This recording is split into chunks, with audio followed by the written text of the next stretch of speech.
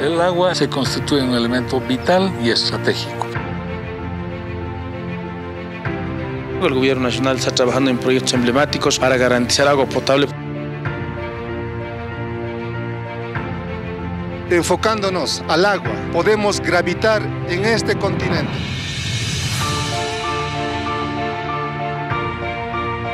La escasez de agua es hoy uno de los grandes desafíos que afronta la humanidad. Se ha convertido en un recurso estratégico a nivel mundial y su importancia es fundamental para el desarrollo sostenible de la economía, la producción de alimentos, los ecosistemas y para la supervivencia de los seres humanos. Eso nos debe llamar a la reflexión para el buen uso racional, eficiente, porque el cambio climático se están acabando nuestros ríos, han bajado de caudal nuestras fuentes. El agua tiene que ser eh, manejada con otro criterio hoy en día. ¿no? las políticas deben cambiar, deben evolucionar también. Porque hoy día estamos viviendo el cambio climático que se va a intensificar y vamos a necesitar de esos reservorios. Unos 2.200 millones de personas en todo el mundo no tienen acceso seguro a agua potable y 4.200 millones no cuentan con servicios de saneamiento. En nuestro país el panorama es más complicado. Aproximadamente 2.7 millones de bolivianos, es decir, un cuarto de la población total, no tiene acceso seguro y permanente a este recurso vital. A nivel nacional tenemos un 86.8% en tema de cobertura ¿no? y en tema de saneamiento tenemos 65.2%. Estos datos nos dan parámetros para seguir aún seguir trabajando en áreas rurales, ¿no? donde aún nos falta llegar. En el área rural la situación un poco más, eh, más drástica porque ya no hablamos de agua potable, hablamos de agua segura, ¿no? entonces eh, la brecha es aún mayor, estamos hablando del 60% en, en materia de agua. ¿no? Y de agua residual o saneamiento es pues tremendo el desfase. Según los expertos, existen varios factores que ponen en riesgo el suministro de este recurso hídrico. Entre los principales, la contaminación, la demanda producto del crecimiento demográfico, la industria, la agricultura y la falta de un consumo consciente del agua.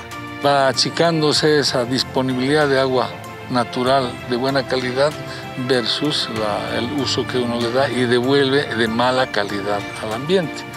Entonces ese desbalance ha acrecentado la problemática hoy en día en el mundo.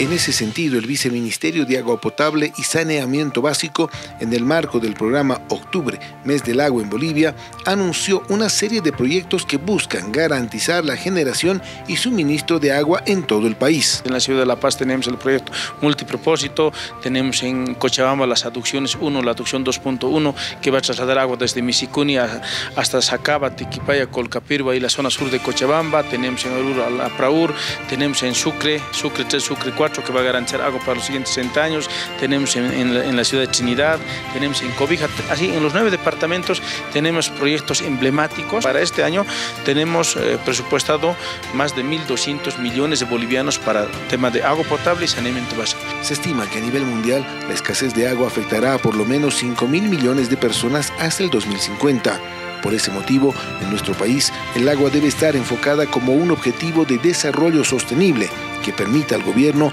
garantizar la disponibilidad de agua, su gestión sostenible y el saneamiento para todos. Primero es conservación del recurso, es el reuso del agua, reciclaje del agua y también el manejo de una gestión integral del agua. Tenemos que pensar como política fundamental la gestión integral del recurso hídrico. Y si generamos grandes motivaciones va a haber grandes esfuerzos y si hay grandes esfuerzos va a haber, vida y unidad en este, en este territorio. Y en realidad este proyecto reconfiguraría totalmente la geopolítica de esta región incluso.